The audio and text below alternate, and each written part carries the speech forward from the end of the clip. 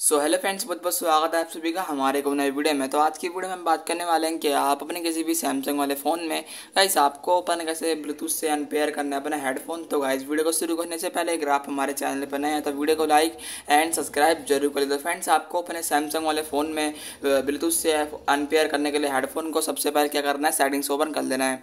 जैसे अभी हमें सेटिंग्स ओपन करेंगे तो आपको यहाँ पे देखने को मिलेगा कनेक्शन वाला ऑप्शन तो आपको यहाँ पे क्लिक कर देना है।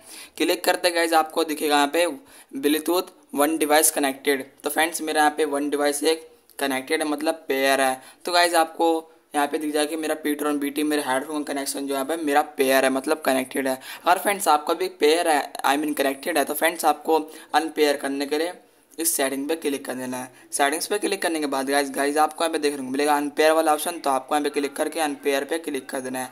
और फ्रेंड्स यहाँ से आपका ब्लूटूथ से अनपेयर हो जाएगा, आपका जो भी हो हेडफोन हो। तो इस तरीके से फ्रेंड्स आपको अपने सैमसंग वाले फ़ोन में है। हेडफोन को अनपेयर कर देना है आई मीन डिस्कनेक्ट कर देना है। तो मैं मिलता हूँ नेक्स्ट वीडियो में। Bye bye guys